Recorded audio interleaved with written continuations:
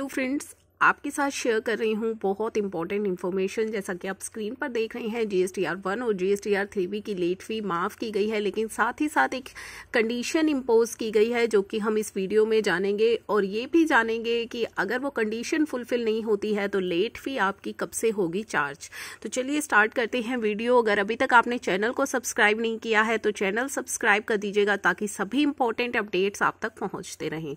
तो मैं आपके सामने ओपन कर रही हूँ ये जीएसटी की important notification notification number thirty three जो कि थर्ड ऑफ़ अप्रैल को इशू की गई है। इस नोटिफिकेशन में बात की गई है। In exercise of power conferred by section 128 तो सेक्शन 128 की पावर यूज़ करते हुए गवर्नमेंट ने on the recommendation of the council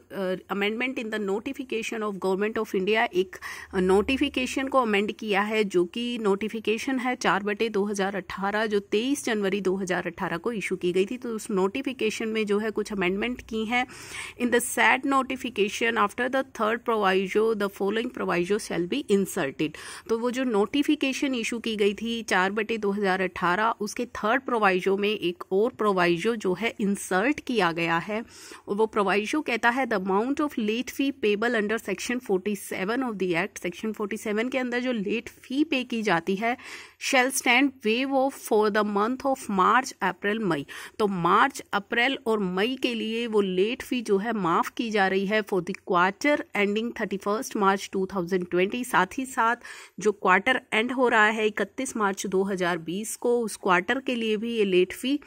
जो है माफ़ की जा रही है for the registered person who fail to furnish the details of outward supply of the said period in form G S T R one by the due date, but furnish the sad detail in form GSTR 1 on or before 30th June of 2020 तो अगर आप 30 जून 2020 तक, अगर आप monthly filers हैं, अगर आप monthly filer है आर वन को मंथली फ़ाइल करते हैं तो आपके लिए मार्च, अप्रैल और मई की जो G S T R one है, उसकी लेट फ़ी वेव ऑफ़ कर दी जाएगी अगर आप 30 जून 2020 तक अपनी G S T R one को फ़ाइल कर लेते हैं। तो साथ ही साथ जो क्वार्टर एंडिंग है, इकतीस मार्च, जो अगर आप क्वार्टरली फाइलर हैं quarterly G S T R one file करते हैं तो इकतीस मार्च 2020 का जो क्वार्टर एंड हो रहा है, अगर आप उसको G S T R one को लेट फ़ाइल करते हैं 30 जून 2020 तक कर देते हैं फ़ाइल तो आपसे किसी प्रकार की कोई लेट फ़ी चार्ज नहीं की जाएगी। यहाँ पे जो क्वार्टर एंडिंग है 31 मार्च 2020 उसकी जीएसटी आर वन को फ़ाइल करने की डेट है 30 अप्रैल। अगर आप 30 अप्रैल तक नहीं फ़ाइल कर रहे हैं और उसे 30 जून तक फ़ाइल कर देते हैं तो कोई लेट फ़ी आपसे चार्ज नहीं की जाएगी। लेकिन अगर आप तीस जून के बाद फ़ाइल करते हैं। यहाँ पे ध्यान दीजिएगा, बहुत ही इम्पोर्टेंट ये कंसर्न रहता है। अगर आप तीस जून के बाद फ़ाइल करते हैं, मान लीजिए आपने एक जुलाई को अपनी रिटर्न फ़ाइल की है तो आपके ऊपर जो लेट फ़ी है, वो कब से लगनी शुरू होगी? तीस जो क्वार्टर फाइलर्स हैं, क्वार्टरली फाइलर्स हैं, जिनके लिए ड्यू डेट तीस अप्रैल थी तो आपके लिए लेट फ़ी जो है वो एक मई से लगनी स्टार्ट हो जाएगी, यानी कि एक मई से लेकर और जो है एक जुलाई तक आपके ऊपर लेट फ़ी लगा दी जाएगी। इसी तरीके से अगर आप मंथली फाइलर्स हैं मंथली अपनी जीएसटीआर फंड फ़ाइल करते हैं, मान लीजिए मार्च के लिए जो आपको फ़ाइल करनी थी अपनी रिटर्न अगर आप मंथली फाइलर्स हैं और अगर मार्च मंथ की हम बात करते हैं तो मार्च के लिए अगर आपको 11 अप्रैल तक अपनी रिटर्न फ़ाइल करनी होती है, लेकिन 30 जून तक आप अपनी रिटर्न फ़ाइल कर सकते हैं। अगर आपने 30 जून तक अपनी रिटर्न फ़ाइल नहीं की है और एक जुलाई को अपनी रिटर्न फ़ाइल कर दी है तो 11 अप्रैल जो आपकी ड्यू डेट थी 11 अप्रैल से लेकर एक जुलाई तक आपके ऊपर लेट फ़ी जो है लगा दी जाएगी। तो लेट फ़ी की कैलकुलेशन आपको समझ आ गई होगी कि कब से की जाएगी। उसी प्रकार चलिए बात करते हैं जी एस आर थ्री की। तो उसके लिए मैंने आपके सामने ओपन की है नोटिफिकेशन नंबर थर्टी टू जो कि तीन अप्रैल को की गई है issue notification number thirty two कहती है in exercise of power conferred by section one twenty eight तो सेक्शन वन ट्वेंटी एट की पावर यूज़ करते हुए गवर्नमेंट ने जो है on the recommendation of council make the following amendment in the notification notification number seventy six by two तो एक notification आई थी छिहत्तर बटे दो हज़ार अठारह, जो कि इकतीस दिसंबर को आई थी। तो उस नोटिफिकेशन के अंदर जो है सेंट्रल गवर्नमेंट ने कुछ चेंजेस किए हैं। क्या चेंजेस किए हैं? इन द सेकेंड नोटिफिकेशन यानी कि जो नोटिफिकेशन आई थी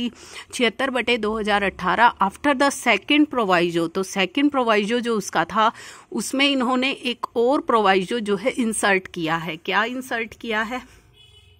यहाँ पे जीएसटीआर थ्री बी की लेट फ़ी माफ़ करने की बात की गई है तो चलिए इसकी कंडीशन एक बार देख लेते हैं। Taxpayer having turnover more than five crore in preceding financial year अगर पिछले फाइनेंशियल ईयर में आपका टर्नओवर पाँच करोड़ से ज़्यादा है तो फरवरी, मार्च और अप्रैल की जो रिटर्न है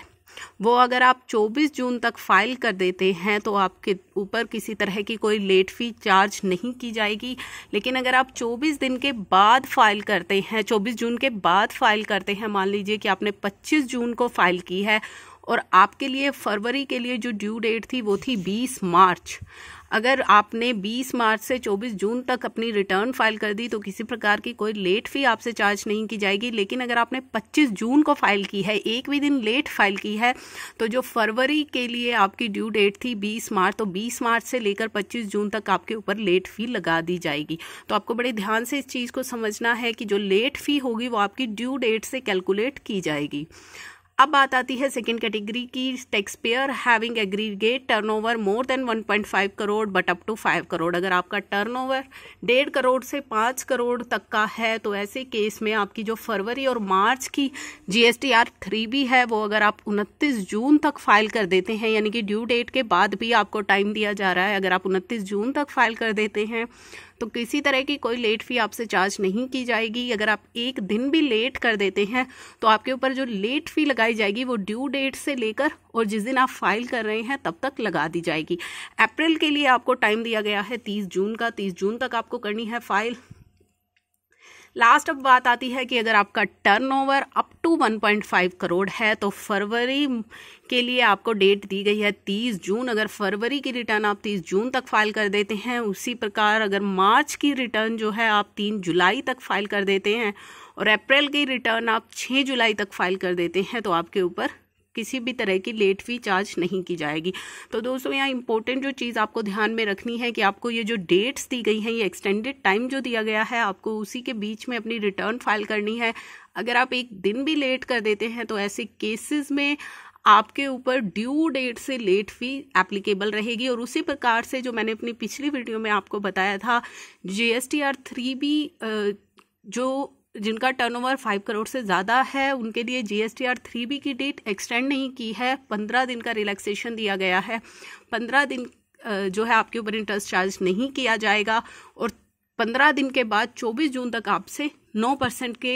रेट से इंटरेस्ट लिया जाएगा। लेकिन 24 जून के बाद अगर आप अपनी रिटर्न फ़ाइल करते हैं तो ड्यू डेट से लेकर उस डेट तक, मान लीजिए आपने 25 जून को फ़ाइल की है तो ड्यू डेट से लेकर 25 जून तक आपसे 18 परसेंट इंटरेस्ट वसूल किया जाएगा। इससे रिलेटेड वीडियो मैंने अपलोड की है, आप रेफरेंस के लिए उस वीडियो को देख सकते हैं। बहुत इंपॉर्टेंट इन्फॉर्मेशन है ये, आपको मिस नहीं करनी है और बाकी लोगों को भी अवेयर करना है, ताकि उनसे किसी भी तरह की कोई मिस्टेक ना हो और किसी का नुकसान ना हो। चलिए इस वीडियो को कर रही हूँ मैं close thank you for watching